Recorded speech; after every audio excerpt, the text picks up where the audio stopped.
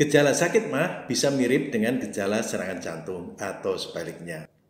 Gejala serangan jantung, rasa sesak, tertekan, diremas, ditusuk, atau nyeri tumpul, paling sering di bagian tengah dada. Nyeri yang menyebar ke bahu, leher, atau lengan. Detak jantung tidak teratur atau cepat, keringat dingin atau kulit lembab, pusing, lemah, atau kepala terasa ringan, sesak napas, mual, gangguan pencernaan, dan terkadang muntah. Sakit mah, nyeri dada yang membakar yang dimulai dari tulang dada, nyeri yang menular ke tenggorokan tetapi biasanya tidak menjalar ke bahu, leher, atau lengan. Serasa ada makanan yang kembali ke mulut Anda.